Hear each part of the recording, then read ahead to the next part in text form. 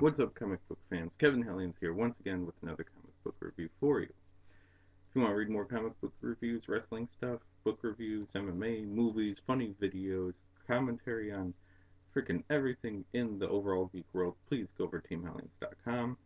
If you want me to review your comic book, send an email over to teamhellions at gmail.com and we can figure out uh, whether to do it digitally or physically through the mail, and then I'll review your book. Awesome, cool.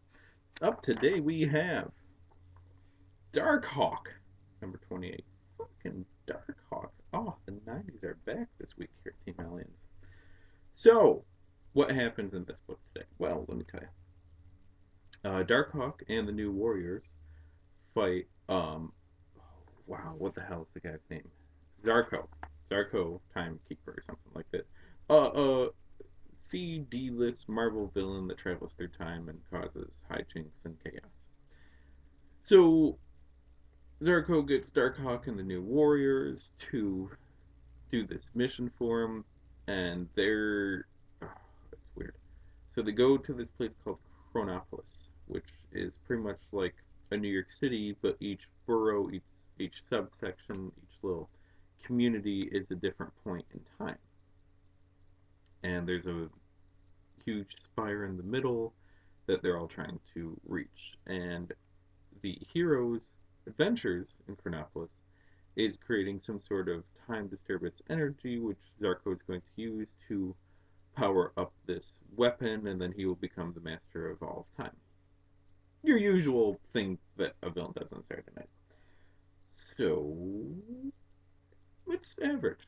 It's average. Now, it might be because I, I love New War, the New Warriors and I was pretty average fan of Darkhawk, even though I don't remember a whole lot about the adventures and history of Eric Powell, but I know what for damn sure about like there's 50 issues or so. Um, not bad overall. It's a cute little adventure. Um, if you were a new reader, what would you think? You wouldn't know who the hell Darkhawk is. You'd get some semblance of his powers, but not a whole lot. You wouldn't know uh, you get a little bit of family stuff. You won't have a clue about New Warriors, which, by the way, you have the New Warriors. You have guest stars in this book. Why are they not on the cover? Not even like a little blurb, a little corner thing. Like, and the New Warriors.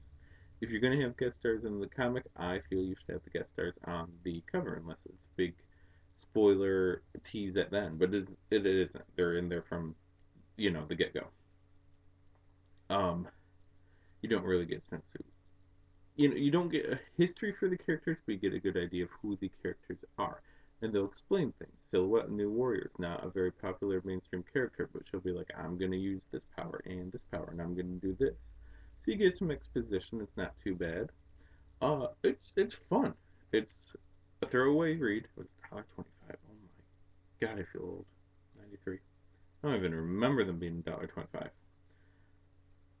Uh, I remember 75 cents. I remember a dollar, then I remember dollar fifty. Then it just fucking kept going up. But anyways, it's fun. You know, if you were if you were reading Darkhawk, it's a fun little extra issue. If this was the first one you'd pick up, you'd be like, I'm curious, and there's a lot going on. There's a lot of characters, and you know, you'd probably want to know more and buy more. And it's fairly well written too. It's not perfect. I'm not saying that it is, but you know, it's fairly well written. There's a lot going on. Very bit of a, a heavy-handed thing here on uh, atomic weaponry, though. That was a little odd. But other than that, I mean, it's a fun book. I'd give it, you know, it's a solid B. Definitely worth picking up other issues for. And not something to be embarrassed about in your collection. Very fun. So this has been Most Fun Comics. Kevin Hellions here, TeamHellions.com, yours.